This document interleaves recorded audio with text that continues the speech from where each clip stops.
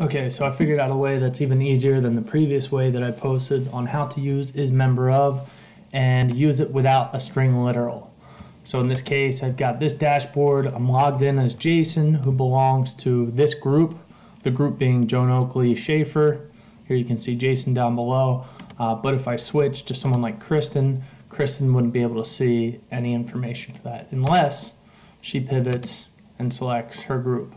Okay, so um, again, if I come back here, I'll talk about some of the, the reasons why this isn't a perfect solution, one of which uh, requires a parameter. Parameters are not dynamic by default. You can make them dynamic. Facebook showed us how to do that at Tableau Conference 2014.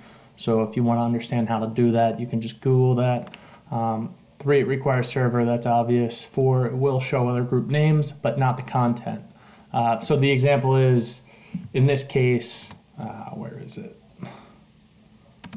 In this case, I can see, if I'm Kristen Brown, I can see the other groups. I just can't access their content. So if that works for you, then you know all good. If it doesn't work for you, you might have, a think, have to think of a different solution.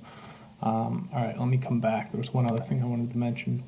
It assumes group is part of your data. So in this case, Kristen belongs to a group, Kristen something, I forget the last name, but that group also belongs in our data set. It's a customer.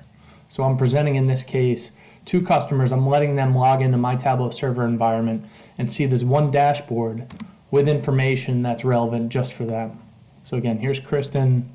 If I switch to Jason, Jason wouldn't see anything for other uh, groups, but if I switch to Jason's group that he belongs to, Joan Oakley Schaefer, I'm good to go. Okay, so how did I do this?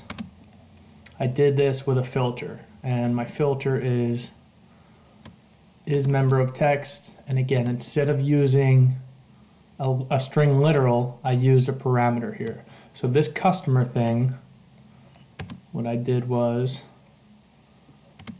I created a parameter and added from field, I added from the field customer over there. And this same customer group is what is the group to which Jason belongs. So let's look at uh, my groups real quick. I've got this Joan Oakley Schaefer group, and Jason rolls up to Joan Oakley Schaefer group. All right, but then, I mean, ultimately it works. So this, again, this is, is this condition true? So does Jason in this case belong to this group, customer, which right now is on Joan Oakley Schaefer, and I put another one on there, customer name, so from my data over here equals customer. Okay, so those two conditions must be true. All right, and now I have that just on a filter for this specific worksheet, but I could also harden it to my data source by creating a data source filter and adding in whatever I called that is member of text and just saying true. Okay, and I have another one on there to just keep 10 of my 3,400 customers just to keep this demo simple. Uh, but that's how you do it. It's actually not as difficult as I originally told you guys it was. So hopefully this helps.